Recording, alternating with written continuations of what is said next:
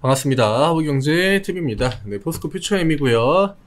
어, 오늘 시장이 또 굉장히 좀 안 좋았죠. 네, 오늘 시장의 어떤 그 하락에 어, 가장 영향을 많이 미쳤던 거는 역시나 또 2차 전지였고요. 그 다음에 뭐 최근에 강세를 보였던 뭐 로봇이나 AI나 뭐 의료 AI 뭐 시장을 한 번씩 주도했던 테마들, 그 다음에 어떤 개인 투자자들의 비중이 조금 올라간 그런 업종들에 대해서 계속적으로 압력을 강하게 주고 있는 요즘 시장인 것 같아요. 그리고 이번 주 일정도 계속적으로 좀 있고, CPI 발표, 그 다음에 선물옵션 만기일, 예, 동시 만기일이 또, 어, 돌아오고 있기 때문에, 이런 부분들이 작용이 되고 있는 건지, 혹은 뭐 숨겨진 뭔가가 있는 건지, 혹은 CPI 예상치가 높긴 하지만, 어, 뭐 예상치보다 더 높게 나온다든지 뭐 사실 알 수는 없죠. 예, 알 수는 없고 우리나라 시장이 유독 좀 약세 흐름을 좀더 강하게 보여준다라고 하는 거 그리고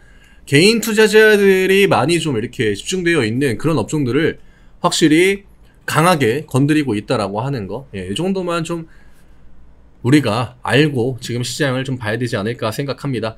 저희 카카오 채널 링크 영상 아래쪽에 남겨드립니다. 파란 글씨 누르시고 무료 종목 신청 누르신 다음에 포스코 퓨처엠이라고 남겨주세요. 저희가 안내해드리는 무료 종목들 같이 매매하실 수 있거든요. 뭐 매매를 굳이 내가 도저히 못하겠다라고 하셔도 오셔가지고 그냥 한 주 동안 저희랑 같이 시장만 봐도 어 혼자 그냥 이 시장을 바라보는 것보다는 좀 덜 불안함을 느끼시지 않을까 합니다. 오늘 일단 가격 라인 40만 원이 깨졌고요.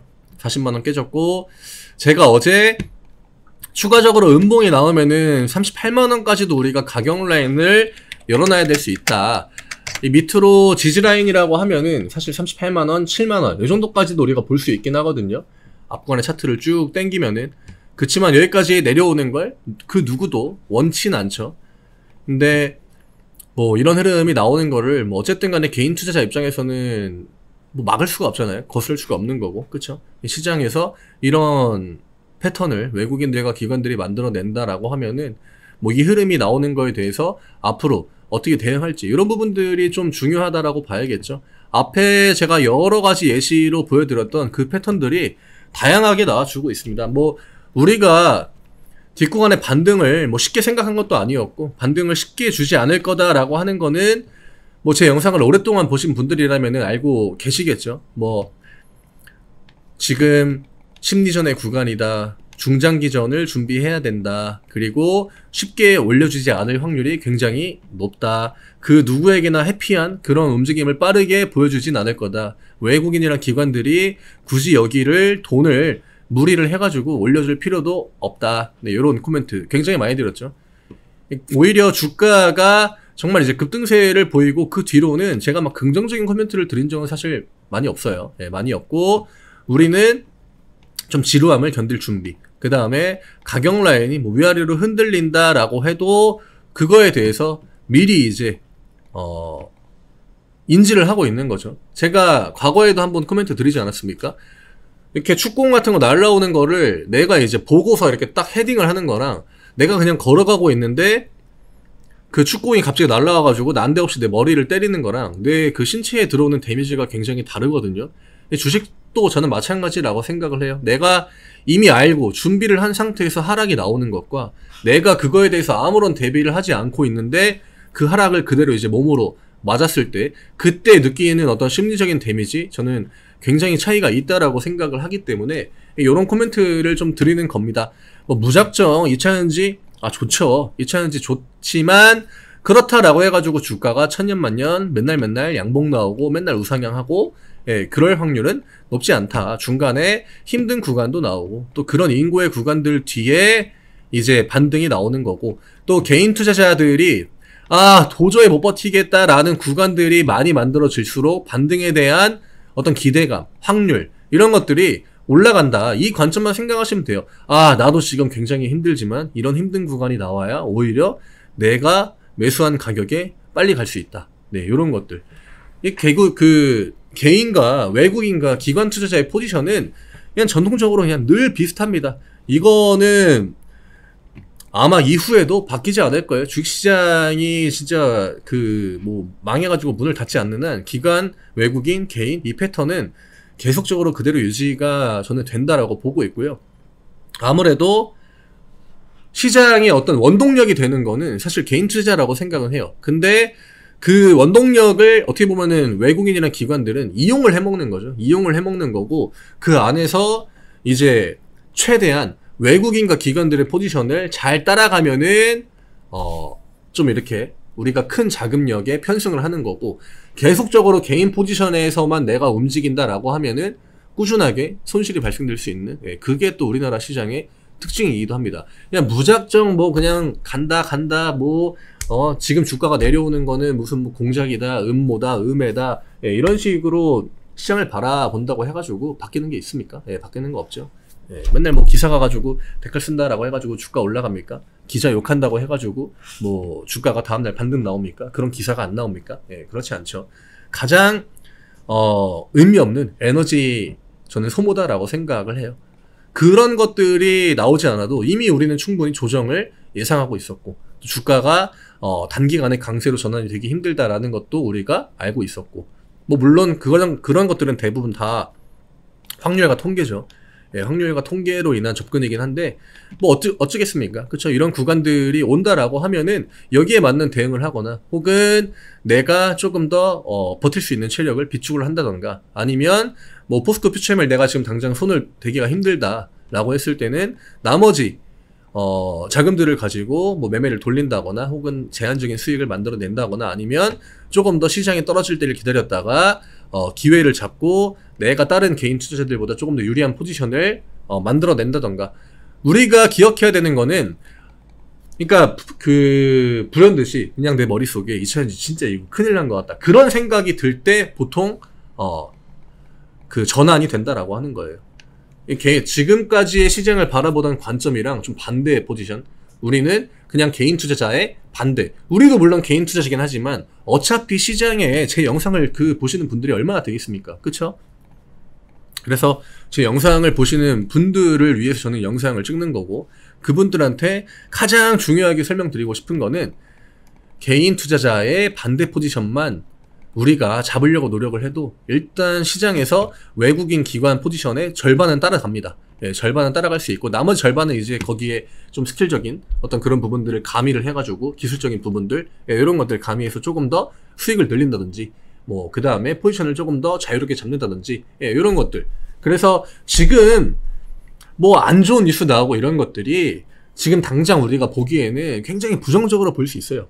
부정적으로 볼 수 있지만 그런 것들이 거의 뉴스에 진짜 막 도배가 되는 시점이 분명히 오거든요. 우리나라 시장의 특성상 언론들을 통해 가지고 그때부터 대응해 나가시면 됩니다.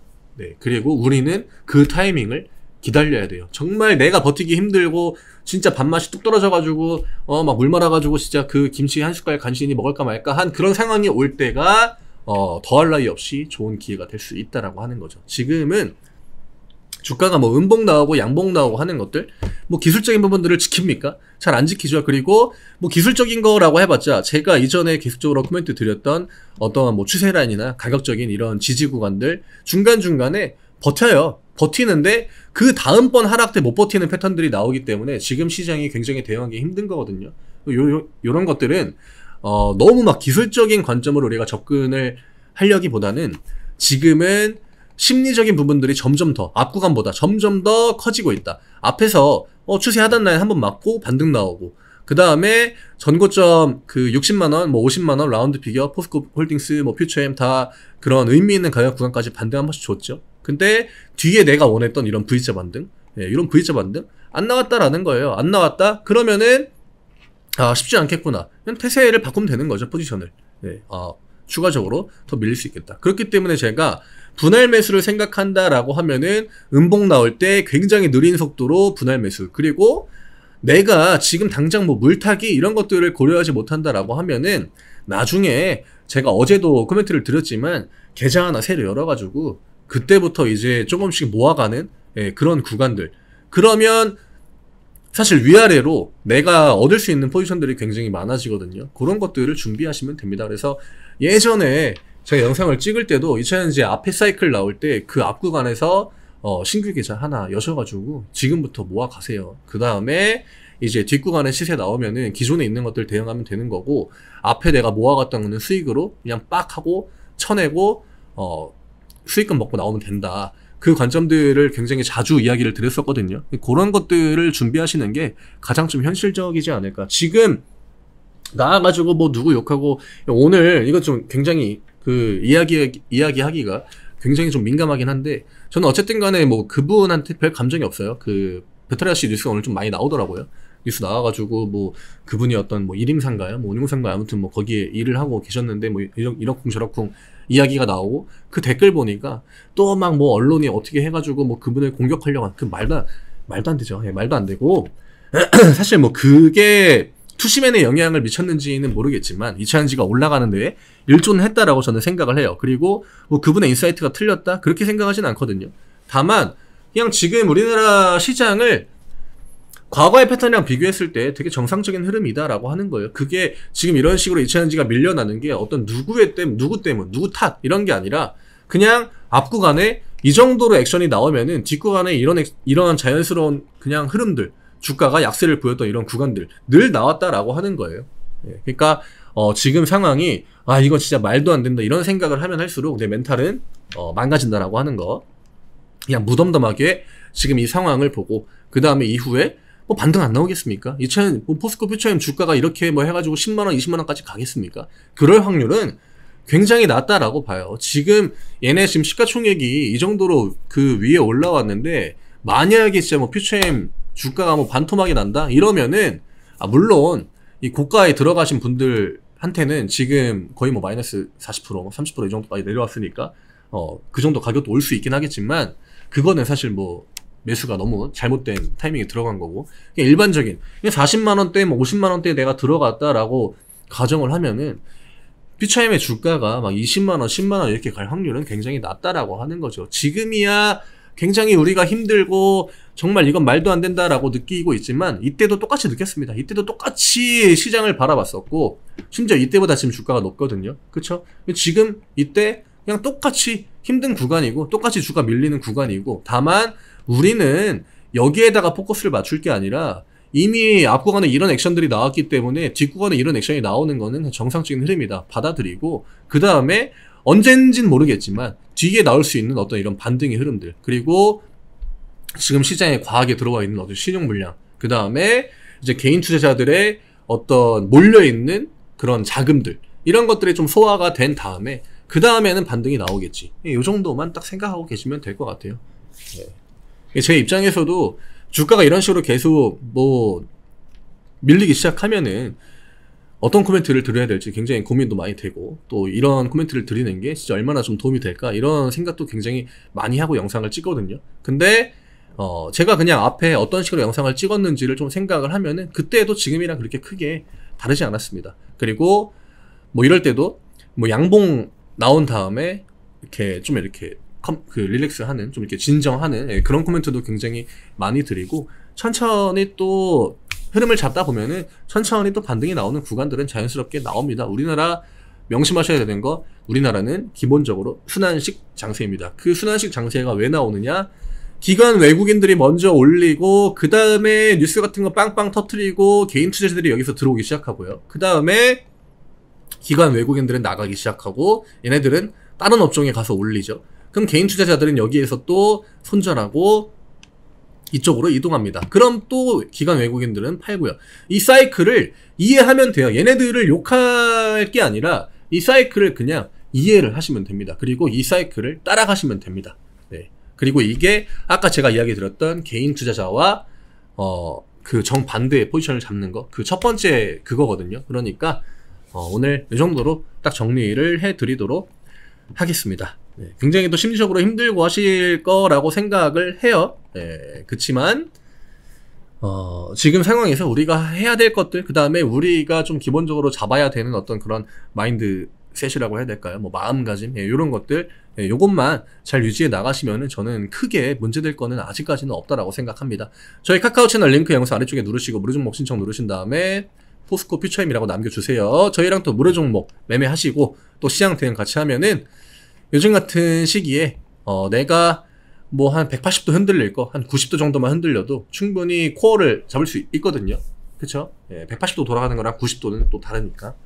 많이 같이 매매하시면 도움 될 것 같습니다. 저는 내일 다시 또 인사드리도록 하겠습니다. 감사합니다.